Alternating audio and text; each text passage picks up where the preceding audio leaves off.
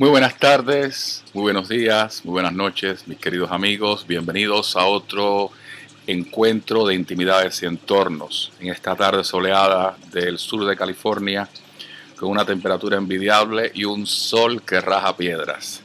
Eh, ayer fue un día un poco difícil para mí porque recibí la tristísima noticia de la muerte de una de mis compañeras de clase, una compañera que aunque no formaba parte del grupo con el cual practico, mostró siempre una gran habilidad para, para amar y para dar de sí, y que además fue una de las primeras que me dio la bienvenida en esta clase, una mujer extremadamente afable que me ofreció su ayuda cuando quise hacer, eh, subir un, una tarea que había que hacer y no sabía realmente cómo hacerlo.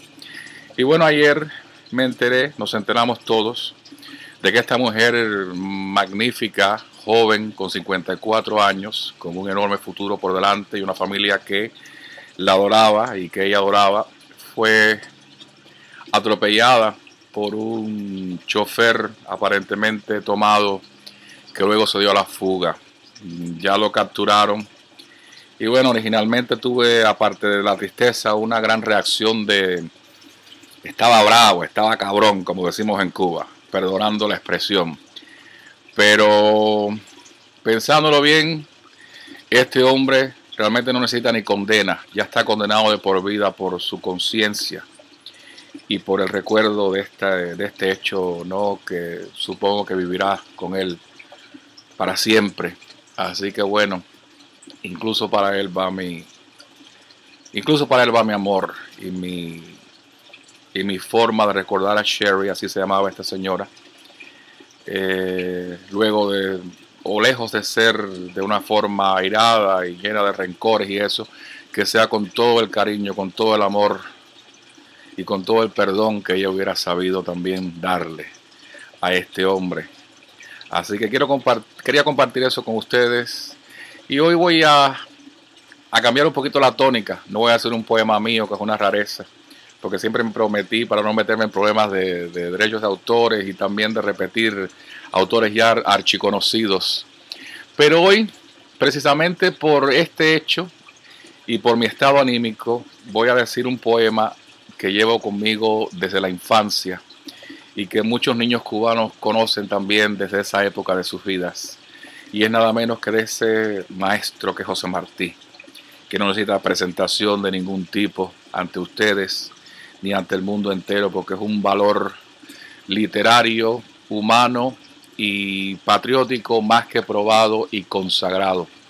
Y para ustedes, de José Martí, a ver cómo me sale a la memoria, un poema que conmueve, se llama Los dos príncipes.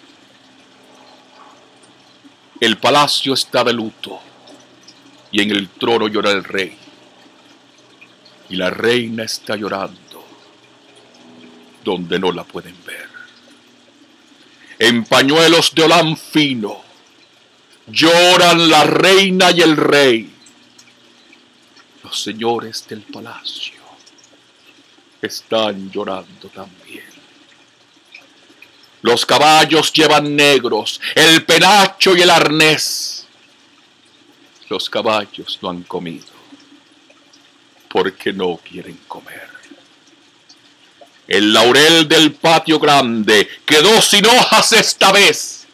Todo el mundo fue al entierro con coronas de laurel. El hijo del rey se ha muerto. Se le ha muerto el hijo al rey en los álamos del monte tiene su casa el pastor. La pastora está diciendo, ¿por qué tiene luz el sol? Las ovejas cabizbajas vienen todas al portón. Una caja larga y honda está forrando el pastor. Entra y sale un perro triste canta allá adentro una voz. Pajarito, yo estoy loca. Llévame donde él voló. El pastor coge llorando la pala y el asadón. Abre en la tierra una fosa. Echa en la fosa una flor. Se quedó el pastor sin hijos. Murió el hijo del pastor.